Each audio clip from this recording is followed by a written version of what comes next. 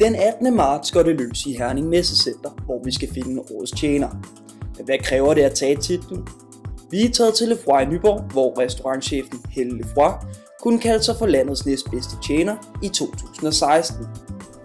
Man skal for det første have tid, masser af tid og masser af træning, og, øh, og selvfølgelig en, en respekt for, for konkurrencen og, og ens øh, fag, man skal levere, og alt det, som man arbejder med til hverdag med kæmpe faglig stolthed. Men hendes erfaringer siger, at konkurrencen tager på det mentale, og særlig ventetiden. Altså jeg synes, der er enormt lang tid fra semifinale og til finalen, så man skal virkelig være tålmodig. Jeg har været ved at kaste håndklædet i ringen flere gange i den tid indimellem. Så masser af tid og tålmodighed, og så skal man lave en træningsplan, som ligesom øh, øh, man holder meget, meget fast på og, øh, og er meget standhaftig omkring, så, så man kan holde sig til ilden hele vejen øh, i forløbet i de 3-4 måneder, der er. Ligesom semifinalen rækker finalen ud over færdighederne i servering og borddækning. Den indeholder en tilfældig disciplin, men ikke nødvendigvis har at gøre med til daglig.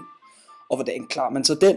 Man skal have leveret det, øh, man står med, og have det leveret som om, at det er noget, man er vant til at gøre, selvom det måske ikke er. Øh, vi flamberer for eksempel ikke her. Så den opgave i sig selv skal man øh, øve sig i, og det er i mine øjne ikke nok at øve sig i, i den i den reelle opgave. Man bliver nødt til at øve sig foran sine gæster for at præstere rigtigt i min optik. Men er træning nok? Helle hæfter sig ved, at modet skal bane vejen til det øverste podium. Det er jo ikke en hemmelighed, at 25 procent af ens samlede resultat ligger på personlig fremtoning. Så øh, det skal man øh, i den grad øh, være, være modig på.